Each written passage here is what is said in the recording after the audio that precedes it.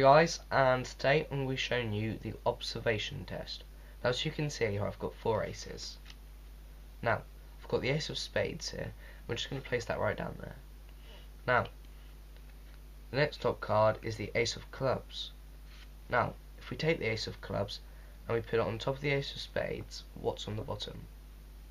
You see, most people would say ace of spades, but it's actually the ace of hearts. And if you missed that, then you missed that. Here's the ace of diamonds, and the black aces are over here. Thank you for watching.